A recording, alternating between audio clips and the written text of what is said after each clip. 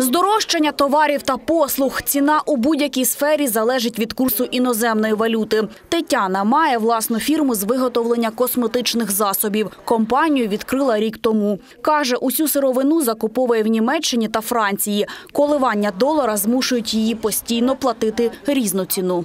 Коли ми от закуповуємо сировину, от на сьогоднішній день от така ціна, все нам е, виставляють рахунки, і ми по цих рахунках оплачуємо. Тобто, якщо там е, на протязі дня вже буде мінятися, ми е, вже ну, оплачуємо по, по факту. От який курс є на сьогоднішній день, такий, такий оплачуємо. За останні декілька місяців гривня не мала сталої ціни. Економічні експерти пояснюють, на це вплинули дві події в Україні. Первое событие – это было заявление премьер-министра о том, что на Банковой решается судьба Приватбанка, отдадут его, не отдадут, выплатят за него, не выплатят. Второе событие – это массовые протесты против формулы Штанмайера, которые более серьезно опустили гривну. Тож Національний банк знизив офіційний курс гривні на 24 копійки, встановивши його на 16 жовтня на рівні 24 гривні 78 копійок за долар. Дніпряни ж до коливання іноземної валюти ставляться по-різному.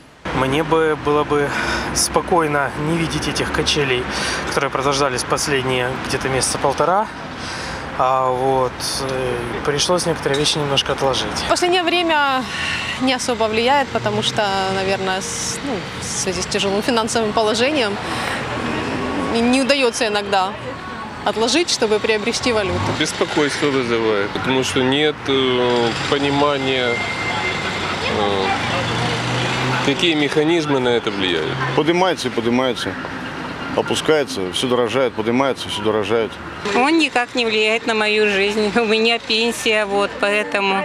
Я наблюдаю за тем, как э, скачки доллара и евро отображаются тоже частично на нашей экономике, если можно назвать тем, что от нее осталось. За словами експерта, ріст та укріплення гривні на даний момент напряму залежить від дій правлячої партії та прийнятих нею законів. Аліна Мирко, Олександр Вернігоров, Open News, телеканал відкритий.